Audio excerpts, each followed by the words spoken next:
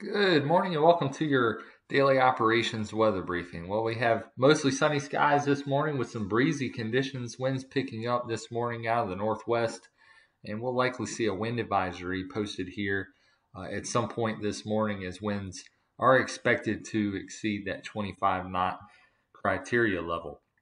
I want to take a look here at our uh, live cam this morning looking off to the west. You can see some of those lower level cumulus clouds, but for the most part, we are seeing sun this morning, mostly sunny to partly sunny skies out there, and we're going to expect those same sky conditions to continue through much of the day today. I want to look here at our current surface analysis. You can see um, that frontal boundary well off to our south and east, that area of low pressure that was uh, bringing us those low clouds yesterday morning has moved off to the northeast, and we're seeing a, a pretty stiff northwesterly flow um, behind that exiting area of low pressure. And that's what's giving us those drying conditions and uh, some chilly conditions this morning. However, we will see those temperatures rising into the low 60s today, and that's about what we typically see this time of year for our average high temperature.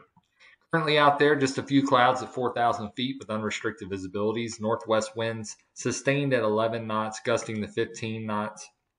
As of the last few minutes, we're starting to see those winds increase even more. So uh, winds uh, likely up to around 20 to 25 knots with those gusts here uh, within the next uh, hour or so. Temperature currently at 50 degrees, relative humidity at 58%. I want to take a look at our uh, high resolution model and what we can expect as far as precipitation chances go for the next few days. Really not looking at any chances today or uh, through the day tomorrow as we'll see uh, high pressure settle into the region.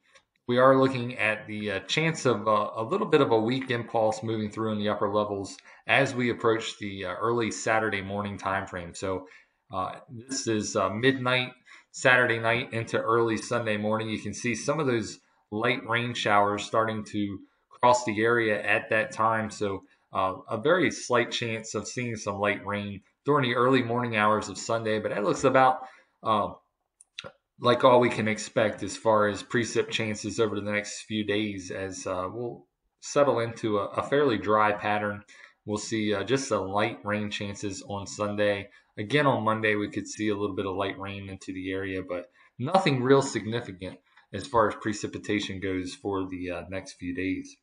Looking at our infrared satellite, you can see those uh, mostly sunny to partly cloudy skies showing up here on the satellite as well. Just a little bit of cloudiness off to our north and west that'll be rotating into the area over the course of the next several hours today, but uh, just a little bit of low level uh, cumulus cloud uh, is what we are expecting for our cloud coverage today.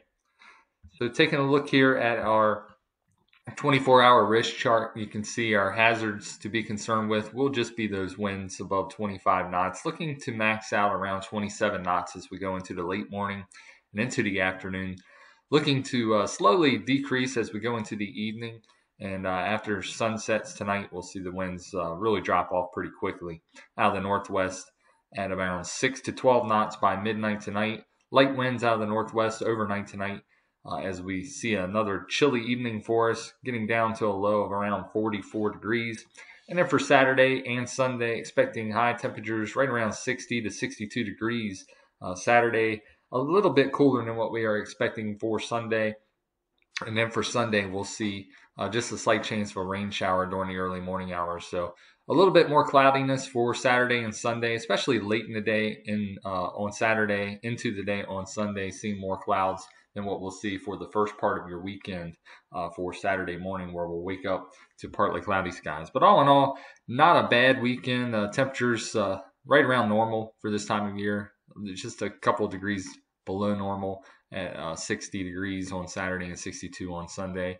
And looking into the extended forecast for next week, looking to uh, possibly get into the mid 60s by the beginning of the work week. Well, that'll wrap it up for your daily operations weather briefing. We'll be back again at 10 a.m. for a look at your extended forecast. Have a nice day.